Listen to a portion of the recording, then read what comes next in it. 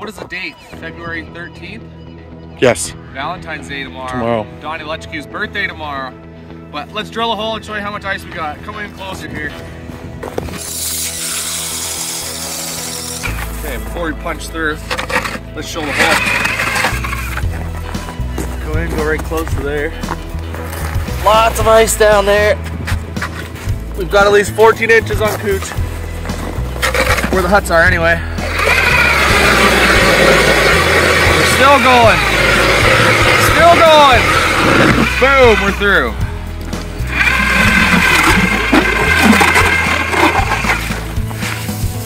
A lot of ice, guys. We're talking pretty much most of my auger bit ice. We're gonna be out here till March 15th, crossing our fingers. Diabetes in a can. out here we got our first group out. A foggy morning out here on day seven. We do have something broken already. I noticed the bench of my people hauler's busted. So, gonna be working on that today.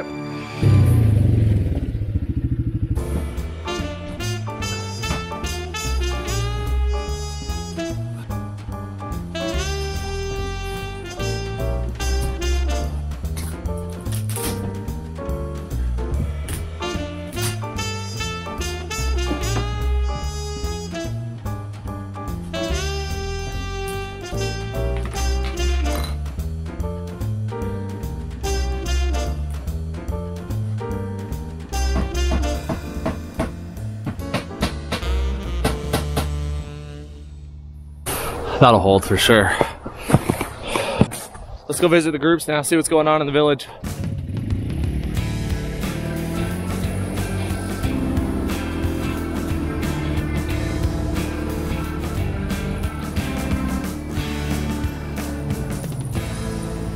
We got fish on the ice and a pike.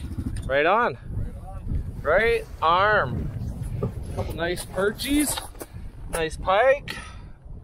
Decent. Who caught the pike? I did. Yeah? Okay, I think it's time for us to do a little bit of fishing slash scouting. So let's drop down the underwater camera in some shallower water and see if we can find some fish.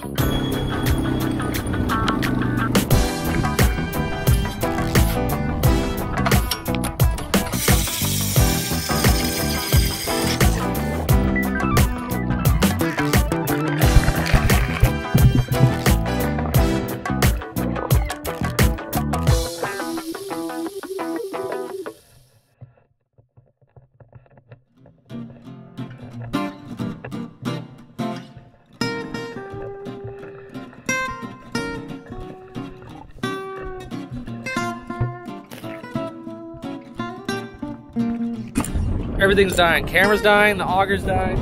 I might only got one more shot at this. So let's walk a bit further. See if we can find the weed line.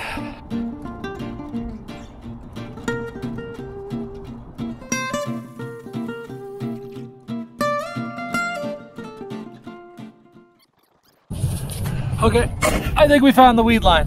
But is there any life down there? We'll see. Pan this baby around. Let's keep panning it around. That's some funny looking grass down there. But I really like this. Maybe let's try and stop and fish for a minute. Okay, let's do it. I'm just starting with a big flashy spoon. And the reason for that is I'm not messing around. I'm scouting right now. I just want to put down a big spoon. This will attract any jumbos in the area, but also if there's a pike down there, they're definitely going to bite this. So I might catch a pike while I'm scouting for perch, and that's cool to me.